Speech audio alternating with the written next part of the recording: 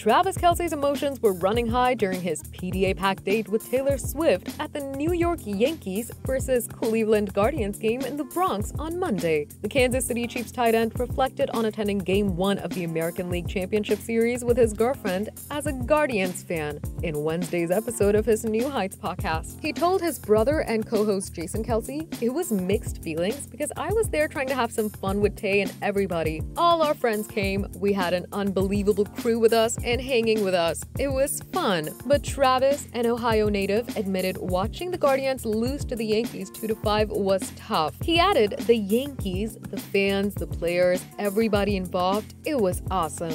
The football player reiterated that he was in hostile territory rooting for the away team. Travis and Taylor showed up to Yankee Stadium looking casual and low key. The couple engaged in PDA while seated in a VIP box, and at one point, Swift was spotted sweetly feeding her beau some popcorn. Subscribe to our channel for the latest on your favorite celebrities. Like, comment, and share. And don't forget to press the bell icon for notifications.